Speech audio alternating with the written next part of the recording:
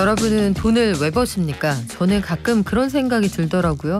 그냥 열심히 벌어서 좋아하는 사람들하고 맛있는 거 먹고 하루 동안 있었던 즐거운 얘기하고 뭐 그러다 화가 나면 약간 씹기도 하고 이런 재미로 사는 게 아닐까 싶은데 음식 우리 생활의 중심에 있기도 합니다. 사람을 모으기도 하고 흩어지게 하기도 하고요. 최근 들어 회식 문화가 되살아나는 거 보면 그런데 이런 음식에도 특허가 있다는 거 알고 계셨나요? 새로운 재료와 방식으로 만드는 음식들이 많이 늘어나고 있는데 이런 특허도 최근 들어서 등록이 많다고 합니다. 오늘 특허발전소 특허청의 하혜경 특허심사관과 함께 음식 특허 관련된 얘기들 알아볼게요. 안녕하세요. 안녕하세요. 자, 우리 특허 관련해서 음식이 거론되는 경우가 그렇게 많지는 않았거든요. 저는 최근 들어서 그 포항의 덮죽 얘기 그 사건으로서 아 음식 특허 이렇게 중요하구나 그 정도 깨달았는데 음식도 특허의 대상이 되는 겁니까? 네 맞습니다. 어, 조리 방법이나 조리 방법을 통해 제조된 음식 모두 특허의 대상이 되는데요. 어, 기존에 없던 음식을 개발하였거나 잘 알려진 음식이라도 새로운 조리법으로 독창성이 인정이 되면 특허를 받을 수 있습니다. 새로운 조리법 이게 좀 애매하고 좀 모호하다 이런 생각이 들기는 해요. 새로운 조리법으로 독창성이 인정되면 특허받을 수 있다. 예컨대 제가 방금 말씀드렸던 그 덮죽 가장 최근의 진행 상황을 보니까 아직까지 누구도 독점적으로 그 권리를 못 쓰는 상황이라고 하는데 네. 방송이나 언론에서 등장한 뭐 연예인들이 알려주는 레시피도 있고요. 이런 것들은 음식 조리법이 특허를 받을 수 있는 겁니까? 아, 네. 그 방송에 알려졌다고 해서 꼭 특허를 받을 수 없다고 아시는 분들이 많은데 그렇진 않습니다. 어, 출원 전에 비슷한 조리법이 인터넷이나 방송에 알려지면 특허를 받을 수 없긴 한데요. 단 그 조리법을 개발한 본인이 공개한 경우에는 그렇진 않습니다. 어, 그 공지 예외 주장 출원이라는 제도가 있기 때문인데요. 네. 어, 그 이 제도는 적용받기 위해서는 공개 후에 단 공개 후 1년 이내에는 특허 출원하셔야 합니다. 근데 이게 그 덮죽 사건을 다시 한번 되짚어 보게 되는 게 사장님이 그 방송하고서 한 2주 있다가 등록을 하셨는데 방송 네. 바로 다음 날에 전혀 모르는 다른 사람이 요 등록을 해서 분쟁이 시작이 된 거잖아요. 아, 그러면 아, 네. 본인이 아, 레시피를 공개를 하고 1년 이내에 특허 출원을 하면 대부분을 거절하지 않고 받아준다라고 했는데 이거를 그 요 포항 덮죽 사례처럼 다른 사람이 낼름 등록을 해버리면 어떻게 됩니까? 아, 그 덮죽 같은 경우에 말씀하시는 건 지금 특허는 아니고 상표 출원 그렇군요. 얘기고요. 네. 네. 특허 같은 경우에는 그 내가 개발한 조리법을 타인이 무단으로 공개했어도 그 본인이 1년 이내에 출원하는 경우에 구제가 가능합니다. 어, 단 이제 본인의 의사에 반해서 공개가 됐다 이런 사실을 입증하는 서류를 제출해 주시면 됩니다. 말씀하신 그 상표 등록하고 특허는 어떻게 다른 거예요? 어, 상표는 일종의 그 저희가 생각하는 표장 이름이라고 생각하시면 음, 되고요. 네. 어, 특허는 그 실체 실체적인 그 덮죽 같은 경우에는 실제적인 음식을 이제 그 만드는 과정, 과정 이런 것들을 네, 특허 출원하실 수 있습니다. 그렇군요. 그 두 개가 다른 건데 우리나라에서 지금 특허받은 음식이 많은가요? 네, 맞습니다. 어, 그 매년 한 천여 건 정도 저, 조리법 특허가 출원되고 있고요. 어, 이 중에서 한 200에서 300건 정도가 매년 등록되고 있습니다. 그 키프리스라는 특허 정보 검색 사이트가 있는데요.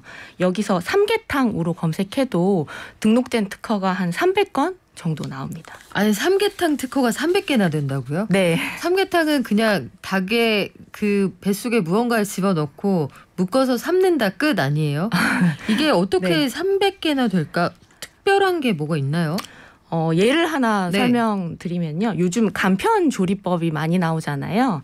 그 삼계탕 재료들을 어, 동결 건조시켜 가지고 블록 형태로 만들고 이제 뜨거운 물을 부어서 바로 이렇게 먹을 수 있는 삼계탕 제조 방법도 있고요. 아 인스턴트 삼, 네, 네, 삼계탕 네, 네, 그런 네. 형태도 있고 어, 예전에 이제 전복하고 삼계탕은 모두 보양식의 대명사잖아요. 전복 들어가면은 단가 네. 올라갑니다. 아, 그렇죠. 네. 네 맞아요.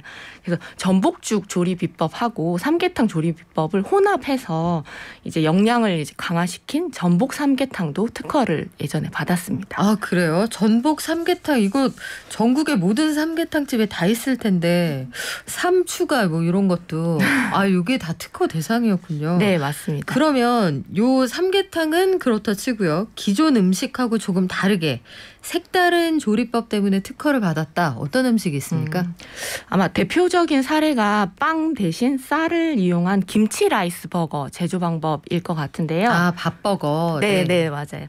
2001년도에 그 특허 출원된 건데 어, L사에서 만든 햄버거로 그 김치 볶음밥을 빵 형태로 만들고 그 사이에 패티를 넣어서 만든 조리법으로 그 당시에 아마 독특한 버거로 많은 인기를 얻었습니다. 이게 그래서 그 밥버거 브랜드가 별도로 출시가 되기도 했었거든요. 김치 라이스 버거 그래요. 요거 말고도 또 우리 재밌는 거 좀 알려주세요. 아, 재밌. 그 새로운 형태는 아니지만 네. 그 조리법의 독창성을 인정받아서 등록된 사례들도 많은데요. 뭐 나물의 색이 변하지 않도록 어, 조리한 곤드레 나물 컵밥 이라든지 시간이 지나도 굳지 않는 떡 음. 그리고 식용 곤충이 함유된 간장과 된장 뭐 이런 것들이 있습니다. 식용 곤충이요. 네, 그 식용 곤충은 그 단백질하고 무기질 함량이 높아서 영양적으로 우수한 식재료잖아요. 근데 아직 대중적으로는 낯설고 좀 거부감이 있는 식재료기도 한데요. 그래서 식용 곤충을 거부감 없이 섭취가 가능하도록 다양한 이제 식품 가공 음. 기술들을 접목한 것들이 많이 출원되었습니다. 몸에 좋고 가격도 괜찮은데 형태를 인식하면 거부감이 있으니까 들어있는 줄 모르게 하는군요. 네, 맞습니다. 요거 애기들 이유식 먹이는 방법하고 비슷한데 카페에서 디저트 중에 특이한 게 많다. 요쪽 특허도 많다고 제가 들었거든요. 아, 네. 어, 뭐 발효를 통해서 카페인 함량을 낮춘 커피도 있고요. 그 헛개나무나 뭐 홍삼 같은 이런 기능성 성분이 첨가된 커피도 있습니다. 어, 그리고 인스턴트 커피는 물을 부었을 때 네. 거품이 이렇게 풍성하게 나면서 어, 거품이 오래 유지되게 할 수 있는 그런 제조 방법들도 등록되었습니다. 아 그래요. 인스턴트 커피는 원래 물에 사르르 녹잖아요. 네. 그 위에 에스프레소 뽑았을 때 같은 크레마가 안 생기니까 네, 맞습니다. 그게 생기게끔 하는 네. 기술이 있다. 아 이거 재밌네요. 커피에 가스를 주입해서 네, 가스를 맞습니다. 머금게 해서 아 이게 되는군요.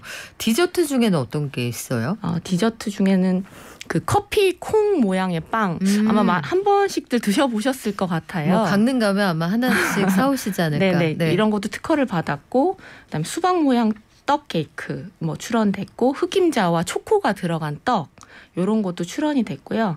어 그다음에 뭐 대전의 상징인데 한 제과점의 튀김 소보로 그다음에 그 이외에도 전복빵이라든지 작두콩 젤라토 아이스크림들도 특허 출원됐습니다. 어 그렇군요. 근데 음식이라는 게 저는 좀 애매하지 않을까 싶은 게 지금 말씀하신 그 재료들이나 방법이라는 게 완전히 새로운 것 같진 않거든요. 접목을 했다 이런 얘기인데 음식 특허를 받아준다 받아주지 않는다 기준이 있습니까? 어, 그 조리 방법을 포함한 모든 발명에서 등록받기 위해서는 가장 중요한 요건이 신규성하고 진보성인데요. 어, 기존에 알려지지 않은 음식으로 신규성이 있거나 기존에 알려진 음식이라도 기존하고 좀 차별화된 조리법으로 그 진보성이 인정이 되면 특허 등록이 가능합니다.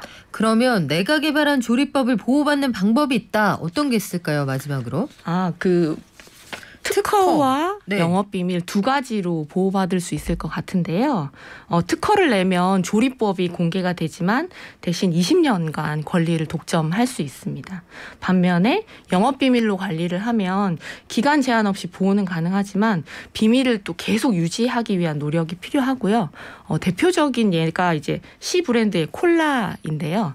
그 제조 방법이 무려 100년이 넘게 영업 네. 비밀로 관리되고 있습니다. 그러면 남들이 콜라를 따라 만들 수는 있는데 이 회사가 어떤 맛을 낼 수 있는 그 비법을 갖고 있는지는 아무도 모른다. 네, 아무도 모릅니다. 그래서 일부러 특허를 안 내는 경우도 있다. 요거는 제품 경쟁력이 어마어마해야겠군요. 자, 다양한 특허의 세계 오늘도 재미있게 들었습니다. 지금까지 특허청의 하이경 심사관이었습니다.